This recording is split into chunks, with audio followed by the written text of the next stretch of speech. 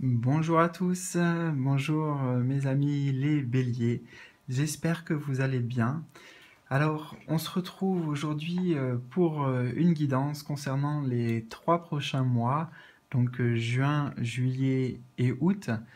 si ce n'est pas déjà fait, je vous encourage simplement à mettre sur pause et aller visionner la vidéo d'introduction concernant ces guidances astrologiques. Donc je vais essayer de mettre le lien par ici.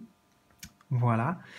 Et euh, avant qu'on se laisse porter ensemble, euh, qu'on voyage ensemble, euh, simplement j'aimerais vous rappeler qu'il s'agit d'une guidance générale ici. Et le but premier, l'intention d'ailleurs première que j'ai mise, c'est pas de vous dire forcément personnellement qu'est-ce qui va arriver dans votre vie à vous directement, hein, puisque vous êtes des milliards à regarder ces vidéos, c'est plus à savoir, à, comprendre les énergies qui vont être apportées durant cette période pour vous, pour vous donner des clés pour véritablement avancer en confiance. Voilà. Donc écoutez, installez-vous confortablement, surtout euh, laissez-vous porter aussi. Euh, moi je vais être dans l'accueil, donc euh, accueillons ensemble, j'ai envie de dire. Et voilà, je vous montrerai aussi les images, peut-être que ça vous parlera d'une autre manière que, ce que je vais vous transmettre comme message. Mais véritablement, soyez voilà, à l'écoute de votre vérité intérieure, en écoutant ce tirage et de la manière dont ça résonne. Voilà les amis. Donc c'est parti. Alors, on commence par une énergie de tarot. Ici, c'est un petit peu l'énergie centrale. Vous avez le roi d'épée. Alors, bon, déjà, très concrètement, un roi, c'est plutôt bon signe. Hein. Les rois, dans la hiérarchie, si vous voulez, du tarot, c'est euh, celui qui est au sommet. D'accord Donc, euh, principalement, euh, d'ailleurs, avec le, le, ce roi d'épée, là, euh, parmi les autres rois, les quatre autres rois, le roi d'épée, c'est véritablement celui qui ordonne. Hein. J'ai ce mot-là de ordonner, voire imposer peut-être, dans le penchant négatif. donc, je ne sais pas dans quel penchant vous êtes. Est-ce que vous ordonnez les choses avec clarté, c'est-à-dire que vous dites les choses aussi aux gens avec clarté, ou alors est-ce que vous êtes plus à imposer votre loi? Bon, petit message pour certains éventuellement qui, qui se retrouveront, ou peut-être simplement qu'il y aura euh, euh, la possibilité pour vous en fait d'être dans, dans une de ces deux énergies. Voilà, donc je vais m'expliquer un petit peu. Euh, le roi d'épée, comme je vous dis, donc imposer, gouverner. Ça veut dire quoi concrètement aussi? Ça veut dire que euh, déjà votre, votre capacité d'analyse véritablement, parce qu'on est dans les épées, donc votre capacité d'analyse, de réflexion, euh, de, véritablement de clarté aussi intellectuelle et de voir les choses, les choses, les gens, les situations aussi concrètes, hein, euh, comme elles sont véritablement. Vous aurez véritablement du discernement, du discernement. Voilà. Donc euh, ça, ça fait partie des qualités euh, auxquelles vous pourrez faire appel durant cette période. Et euh, ici, ce roi d'épée vous indique que vous aurez le besoin peut-être de mettre de l'ordre tout simplement dans votre vie ou par rapport à certaines relations, qu'elles soient d'ordre amical, professionnel, sentimental ou familial. Euh, c'est ce que je ressens en fait, hein, avec sa grande épée aussi, vous voyez là, euh, qu'il tient euh, comme s'il allait justement prendre une décision ou donner un verdict. Donc je pense qu'on vous invite simplement à, à, être connecté à votre vérité intérieure et surtout l'exprimer clairement. Le roi d'épée, c'est celui qui maîtrise le domaine des épées, donc qui maîtrise aussi sa pensée et ses paroles. D'accord?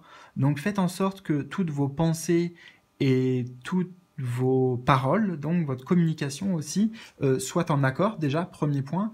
Et deuxième point, euh, bah en fait non, il n'y a pas de deuxième point. non, il n'y a qu'un point, vous voyez. Juste que votre vérité intérieure, euh, vos valeurs véritablement, vos convictions, ce à quoi vous croyez, et au final, vous, donc, qui vous êtes, voilà, vous allez reprendre le pouvoir en fait aussi pour, pour certains ici.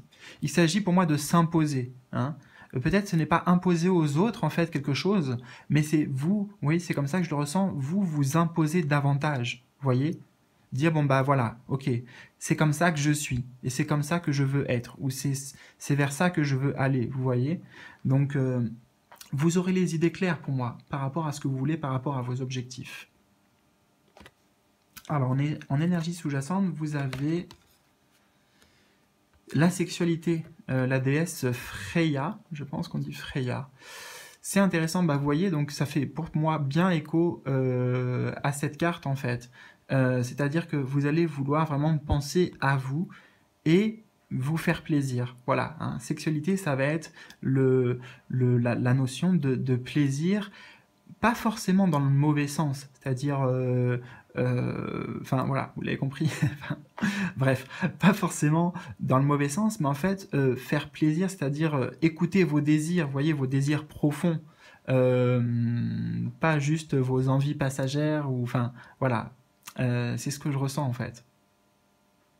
Écoutez votre, voyez, on a cette personne là qui est nue, donc écoutez votre véritable nature, parlez avec votre véritable nature.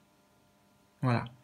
Et euh, ce que je ressens pour vous, mes amis les béliers, c'est que vous allez véritablement...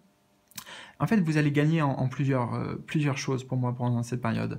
Euh, alors déjà, en faculté d'analyse, en clarté d'esprit, c'est ce que vient directement nous indiquer la carte du roi d'épée. Mais autre chose aussi, c'est en magnétisme j'entends en magnétisme.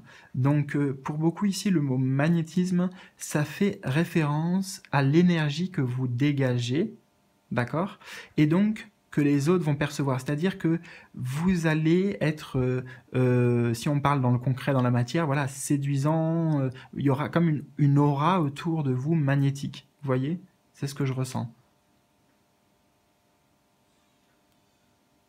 Donc euh, vous allez être beaucoup plus, euh, pour moi, dans le, dans, dans, dans le fait de vouloir euh, combler vos besoins, combler vos, vos, envies aussi. Peut-être que vous aurez beaucoup d'envies à plein de niveaux, notamment parce que sexualité, c'est le plaisir, d'accord, en, en, tant que tel, et, et ça s'applique à, à, tout ce qui peut apporter du plaisir, pas que le, pas que la sexualité justement, d'accord?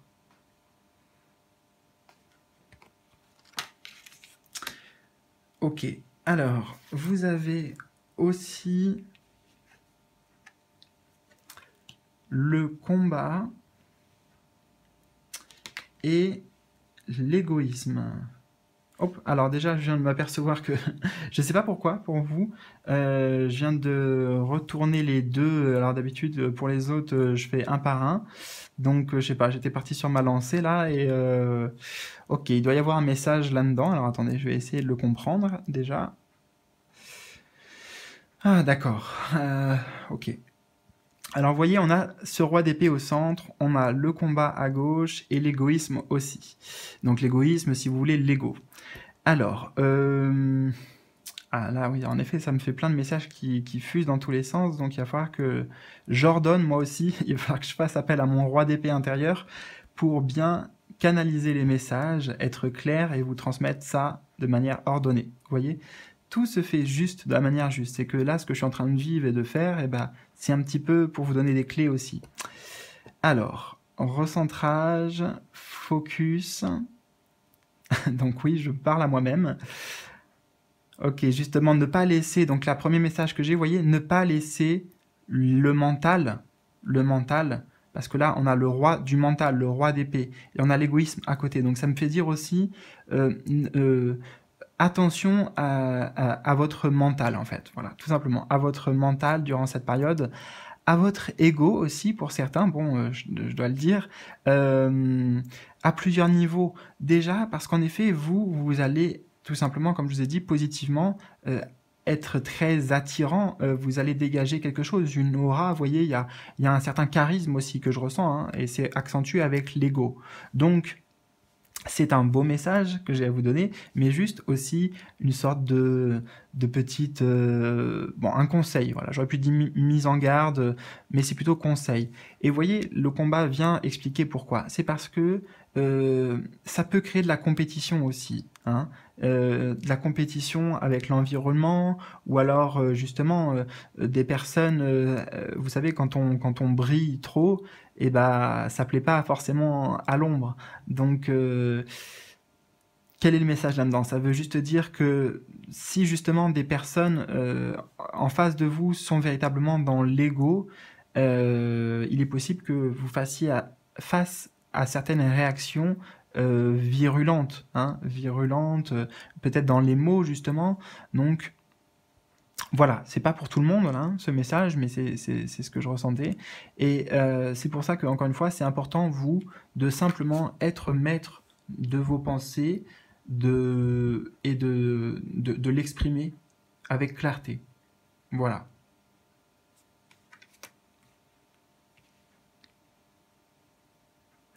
Alors, est-ce qu'il y a un autre message ici, s'il vous plaît?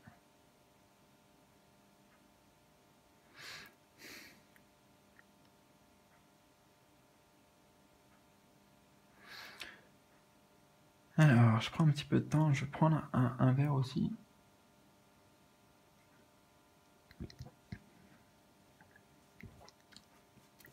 Ouais, c'est, je, je, je reviens sur, euh, sur ce point, c'est que euh, pour certains, simplement, le, l'égoïsme ici vient me dire que en combinaison avec le roi d'épée, euh, que au niveau, euh, au niveau mental, euh, ça va prendre beaucoup de place, d'accord? C'est-à-dire que justement, peut-être que vous, vous allez sentir à l'intérieur que euh, tout simplement, euh, vous avez envie de d'être vous, vous avez des choses à exprimer, vous avez des choses à, créer, des choses à réaliser.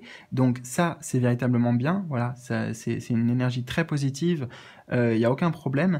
Et juste mise en garde par rapport à la manière véritablement de d'exprimer les choses à l'extérieur, d'accord? Euh, euh, simplement parce que voilà, j'ai vraiment ce sentiment. C'est pour ça hein, que je me permets d'insister.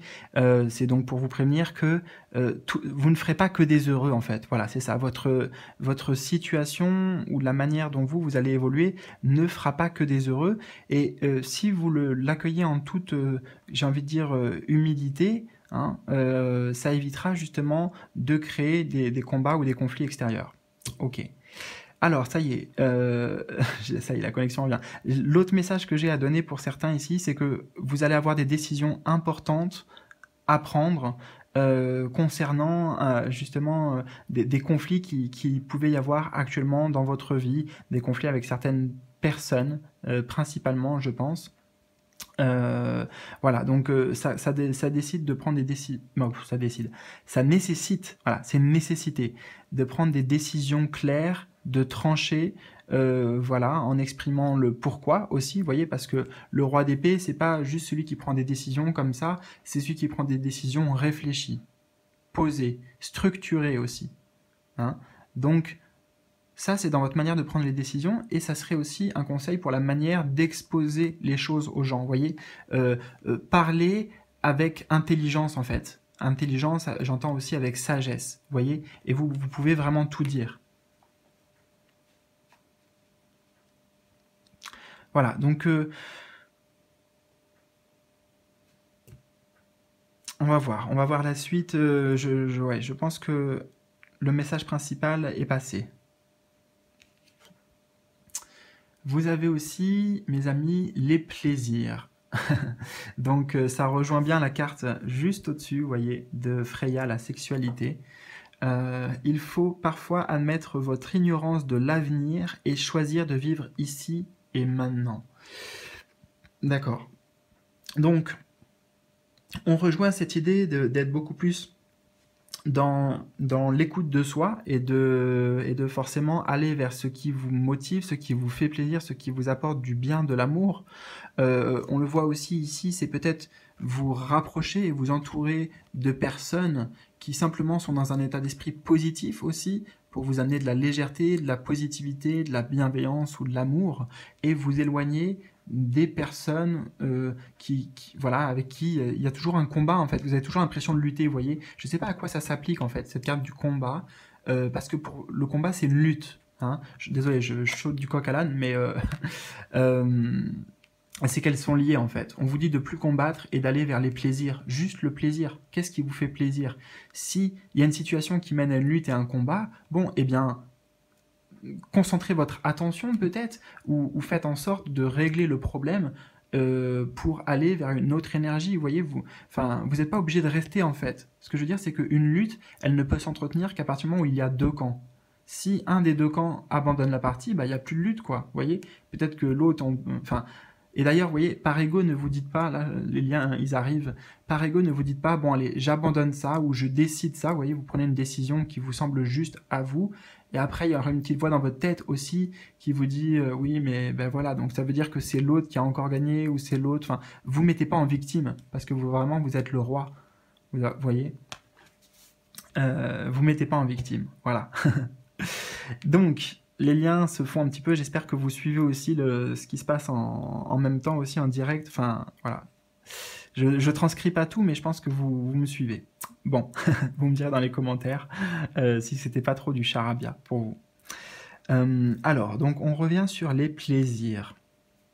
Euh, les plaisirs, juste en dessous de la carte du roi d'épée, justement, vient nous accentuer cette idée que vous allez être maître, le roi donc, maître de vos pensées. Vous allez être beaucoup plus structuré dans votre esprit. Justement, il y aura plus, plus ou moins de conflits, de dualité euh, par rapport euh, à des idées, par rapport à des pensées, par rapport à des émotions. Voilà, quelque part, il y aura une sorte de sérénité avec un calme intérieur parce que vous allez aborder cette euh, période avec sagesse, intelligence. Donc n'oubliez pas d'être dans la légèreté, dans la simplicité et de vous faire plaisir. Hein, c'est vraiment accentué. Vous avez aussi euh, l'arcane numéro 12, le scribe. Alors c'est intéressant que vous ayez ça, puisque normalement c'est la carte du pendu. Et vous voyez, euh, il n'y a pas de hasard. Là, moi je la ressens pas comme véritablement en fait l'énergie que vous avez traversée. Alors je vais vous expliquer comment je la ressens. Euh, ici, le scribe s'applique à ici et maintenant. Ici et maintenant. Et regardez, juste avant, on avait, il faut parfois admettre votre ignorance de l'avenir et choisir de vivre ici et maintenant. Donc de ne pas être que dans les pensées, donc au final dans l'ego, dans le voilà, hein, dans les pensées, dans le mental, dans l'ego, dans la personne si vous voulez, être beaucoup plus revenir à votre essence et à l'être, à l'être que vous êtes en, réalité. Et euh, donc je pense que c'est un conseil ici. Et pourquoi je vous dis dans l'ici et maintenant ce message? Parce que pour moi, durant ces trois mois, et ça commence dès maintenant, mes chers amis, qui, en tout cas vous qui regardez cette vidéo, ça commence maintenant, il y a énormément de leçons spirituelles apprendre. Vous allez apprendre énormément de choses. Voyez, on est aussi sur le roi d'épée, donc ça peut signaler que justement vous arrivez à la fin d'un apprentissage, euh, quel qu'il soit. Voilà. Mais apprentissage aussi, entre autres, grâce à vos expériences, euh, grâce aux défis qui seront mis sur votre route, aux situations que vous ne pouvez pas contrôler. Euh, c'est véritablement tout ça que je ressens. En fait, vous allez gagner en maturité, en sagesse, parce que euh, euh, cette, cette, période va être propice à, euh, à l'enseignement spirituel, au développement de soi aussi, au développement de soi et justement à la séparation avec l'ego, avec le mental, en étant dans l'ici et maintenant, dans le moment présent.